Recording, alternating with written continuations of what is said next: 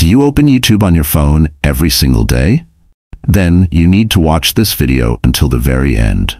Because whether you know it or not, you're being tracked. Every video you watch, every word you search, every tap you make, it's being recorded, stored, and often used to target you. But don't panic. I'm going to walk you through five essential privacy settings that can protect your data, secure your phone, and make your YouTube experience safer. Let's dive in. 1. Turn off watch and search history. YouTube keeps a log of everything, from what you've watched to every single word you've typed in search. This info is used to build a profile on you and target ads.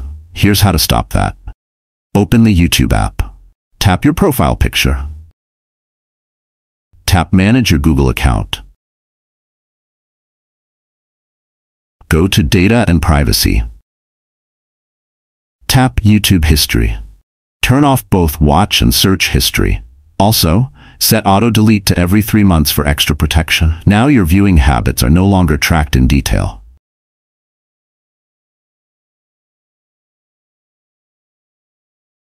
Number 2. Disable ad personalization. Google uses your YouTube activity to show relevant ads, but that means your personal behavior is being analyzed and shared across platforms.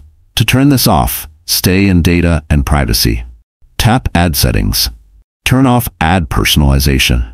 Then scroll down and review the list of interests Google has linked to you. Delete anything you don't want associated with your profile, and prepare to be surprised by what's there. 3. Block camera and microphone access.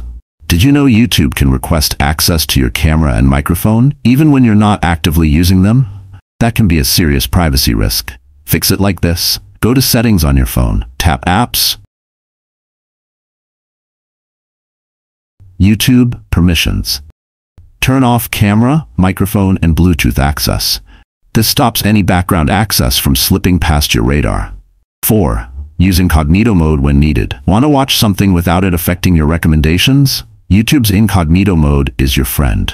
To turn it on, open the YouTube app. Tap your profile icon. Select Turn on Incognito mode.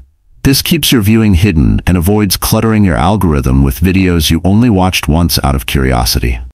Number 5. Revoke access from third-party apps. This is one most people forget. Have you ever signed into an app using your Google or YouTube account? That app might still have deep access, like your playlists, emails, even your full channel data, long after you've stopped using it. Clean it up. Open your browser. Go to myaccount.google.com slash permissions. Log in with your Google account. Review all apps with access. Look for anything suspicious or apps you no longer use. Tap Remove Access for each one. This step alone can massively reduce your data exposure. Final thoughts. So yes, YouTube tracks a lot, but you have control. With just a few changes, you can protect your privacy and enjoy the platform more safely. If you found this helpful, do me a favor. Tap like, subscribe, and turn on notifications so you don't miss the next tip to stay safe online. See you in the next one.